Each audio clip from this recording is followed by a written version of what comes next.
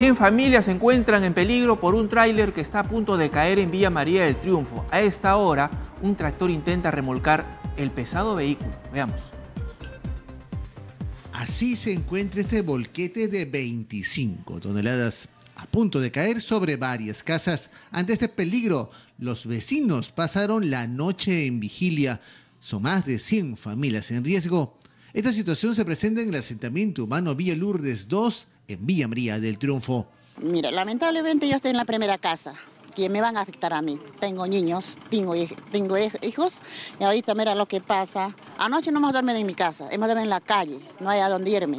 Los vecinos contaron que este volquete, conducido por José Raúl Sonco Quintanilla, llegó al mediodía del lunes cargado de hormigón por negligencias del conductor al parecer, es de que bajó para que tome las fotos respectivas.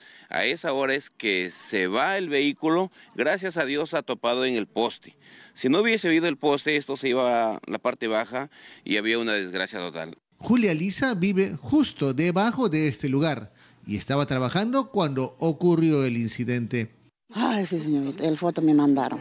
No sé, ese ratito llamar a mis hijos, no estaba en mi casa, mis hijos ya se han ido para el frente, ya se escaparon, no en sus celulares lo dejaron en la casa, no me contestaban, llamar al otro vecino, a la otra vecina. Pues es más, acá tenemos una olla común al costado, en esta olla común han estado almorzando, mismo personal de la contrata.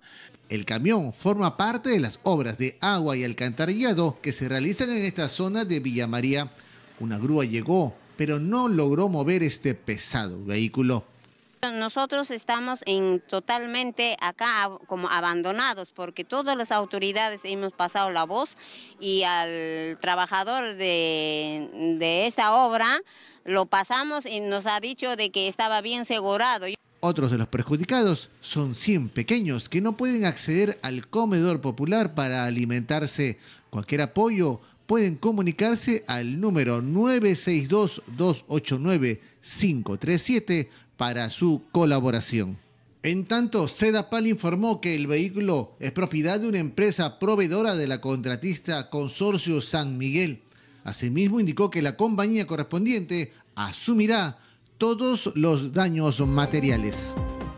Bueno, han transcurrido casi 24 horas porque este hecho ocurrió a las 2 de la tarde del día de ayer, lunes y vemos que todavía no ha sido retirado este volquete y lo que vemos es en imágenes un tractor de gran tamaño también que hace algunas horas trató de retirarlo pero no se logró conseguir.